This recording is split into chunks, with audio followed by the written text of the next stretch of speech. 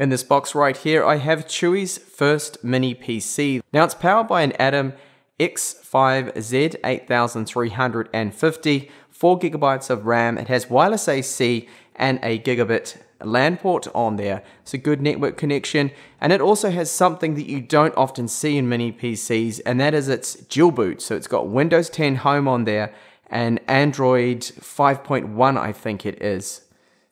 So you can see it's well boxed up and we'll have a look and see just how this one here runs.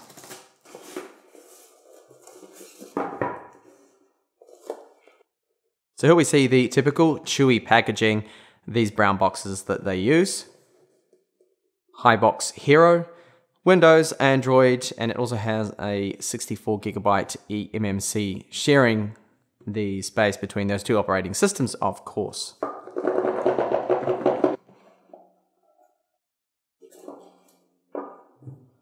Put it to a side for a second and see what else we get namely the power supply. So this right here, that has uh, instruction, not instruction, sorry, warranty cards and things like that in there. Uh, this would probably be just a cable. Ah, no, okay, we've got a bracket here. So this would be for a VESA mount. So you could put this actually on the back of a monitor or a TV or something. That is actually really good that they have included that. And this will be the power supply, of course. And an HDMI cable. So we've got standard sized HDMI cable there. Very good to see that that is included. Most mini PCs do. And an EU power plug here. That is rated to 12 volts, 2 amps there.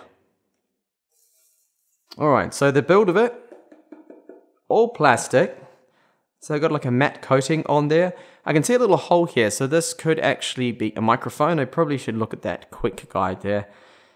SD card slot, which is really good to see. Normally it's micro SD, and I do like to see a full-size one. Two USB, two ports on the front, power on button.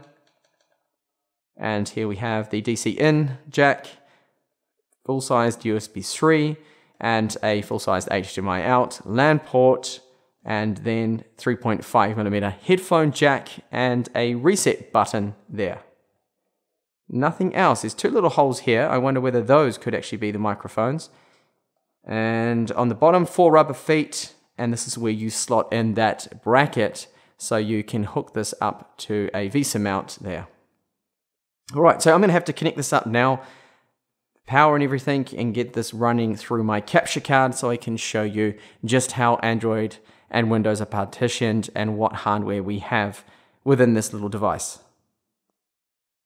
So powering it on, the status LED on the top of the device lit up blue. So clearly that is not the microphone. The two holes on the side are. Very good to see we do have a microphone on this device. A lot, not a lot of them do actually have that. So here in Windows, let's have a look and see how much free space we have. I've got 31 gigabytes there free. And there is one bloatware application here you can see, which is IQIY, which happens to be the account which was set up for this already. Now there's an app here called Switch Now, so we'll be able to just go straight from Windows into Android, which I will do later on.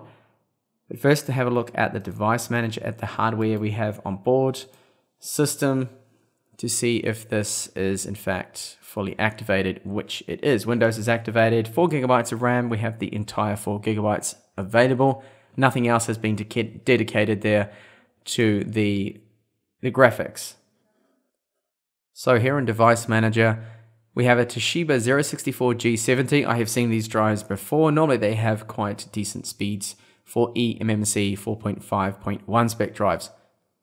Now under the network adapters, here's the Realtek Gigabit Ethernet port, which I currently have plugged in, and the wireless is Broadcom not wireless AC as advertised on GearBest and some other retailers. I was led to believe it had wireless AC in here, but it seems no, it does not. There's, that's been changed, cost cutting perhaps, or maybe just the retailers got the specs wrong there. So I'm going to move over now into Android and we'll have a look and see how that's set up and how much free available space we have there as well. Now on Android here, you can see we've got Play Store installed gallery. There's no bloatware on here whatsoever. This is really good. This is like what I like to see. I don't like to see custom launches. Just keep things plain and simple, especially with this kind of hardware, which is what they've done here. Now, there was an update that I just actually applied with the system update tool. So at least they are pushing through bug fixes and things like that. Now, the available space that we have, let's have a look under storage here. So we've got 9.3 gigabytes free. That's not really a lot. And under uh, settings here, let's have a look at the version. It would be Android 5.1 by the looks of it, which it is there. So 5.1.